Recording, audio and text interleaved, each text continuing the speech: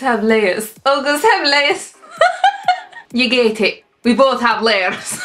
that was the worst Scottish accent anyone could have done. Why am I holding my shoulders? okay, enough. Hello everyone and welcome back to my channel. Today we are doing this really, really warm look that I have on my eyes and I have absolutely fallen in love with it. I got home the other day to an absolutely awesome package. My mum texted me, you've got a parcel here. I was like, I haven't ordered anything. I'm too skint to order anything. And then I got home and it was this little paint pot and it has my username on the top of it and then it says ready to get artistic. This was a complete surprise. I did not know how I was getting this and I was, oh my gosh, overjoyed. And in it, it had their whole new range of brushes and it also had these little gems and these are the new Vivid Brights cream colours. I've used two of the shades that they sent me and these are absolutely stunning. I used Bad Blood and I also used Light Show. Light Show is a gold colour and this, oh my god, it's beautiful nothing happened. And then Bad Blood is a very red toned brown. It's like a maroon red and these two go so well together especially when you mix them in the middle. All opinions that I express in this video about the products are my own opinions. If you're new here please do not forget to click the button down below and subscribe to my channel. It means so so much to me when you do subscribe. It's unreal to me that we are now near 5,000 subscribers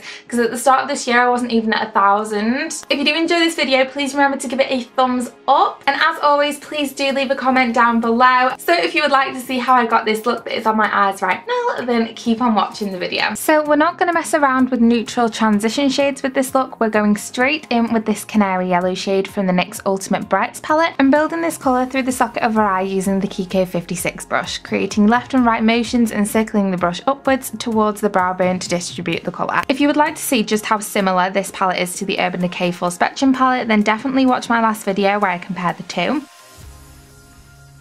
Now taking this Lemon Zest yellow shade from the same NYX palette, we're just going to repeat the exact same process that we did with the first yellow shade, but on a smaller blending brush. I'm using the NYX number 17 brush from their original line of brushes. This colour is a lot more orange on the skin than it looks in the pan, but it's going to really help warm up and intensify the crease colours.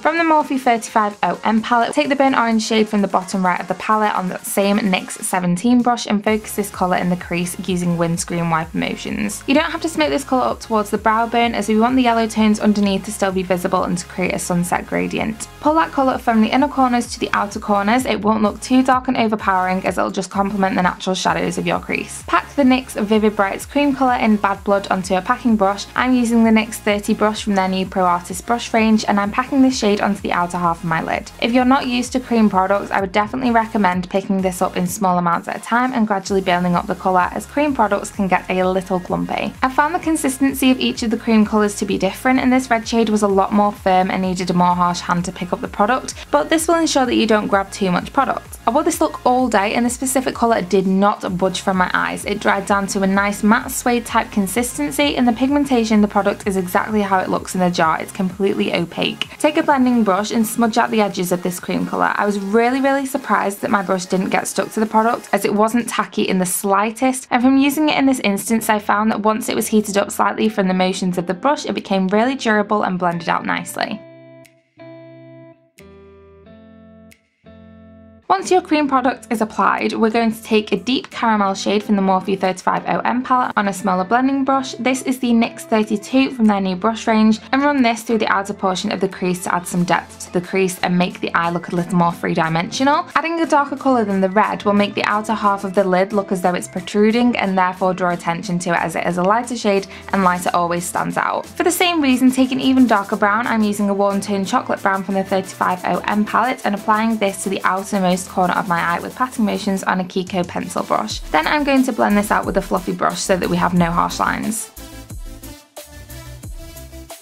Now for the best colour, yay! Take the Vivid Brights Cream Colour in Light Show, which is their only metallic shade of the bunch, I believe, and apply this to the inner half of your lid on a flat brush. This is the new NYX 33 brush. If you'd like it more precise like I do, these products are opaque enough for you to carve out your crease without initially applying a concealer or a paint pot. So just use the edges of the brush through your natural socket and it'll create a sharp carved edge. This shade is definitely more creamy and is easier to pick up from the jar. I did find it to crack along my crease area ever so slightly throughout the day, but that's only noticeable if you're really, really looking for it, and I was checking it like an obsessed woman so that I could feedback to you guys. But the staying power was also amazing on this one, and I've used the Maybelline Colour Tattoos, and these are honestly so much better. They're in a different league. To mix the red and the gold together, take the remaining product from the brush that you applied the red with, and just pat this on top. Tug slightly at the skin in between the gold and the red shades and it'll gradually mix the shades together nicely. Now for the lower lash line, mimic all of the powder colours that you used on your upper lid. So first the canary yellow shade, followed by the lemon zest shade on top. Both of these shades are from the NYX Brights palette and just smooth these out along the lower lash line.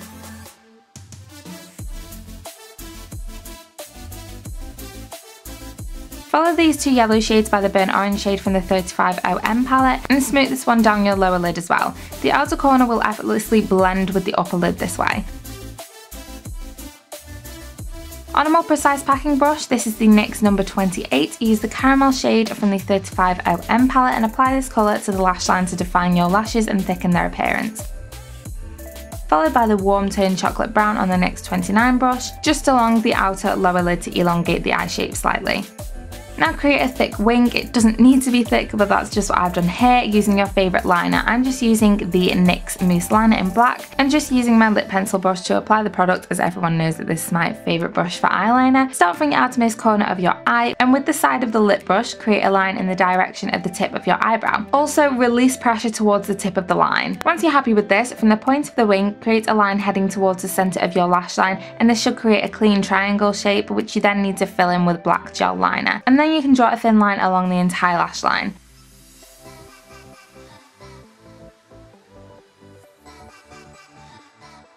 Cut your lashes with mascara, I'm using the Doll Eyes Mascara by NYX and I actually really like this one as it doesn't apply too much product so I can build up my lashes as I want.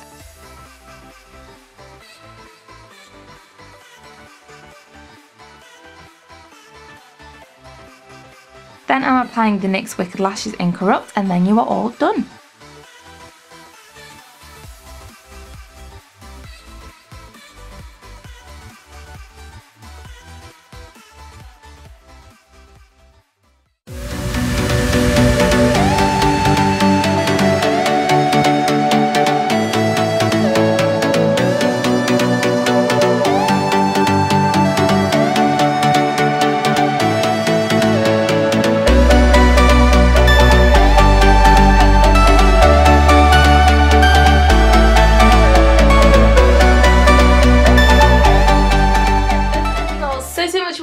Video and I really really hope that you enjoyed it. If you did please remember to give the video a thumbs up and if you're not already subscribed please hit the subscribe button down below. It'd be lovely to have you within my little YouTuber channel family thing. And as always remember to leave that comment down below so we can have a little chat and hopefully I will see you in my next video.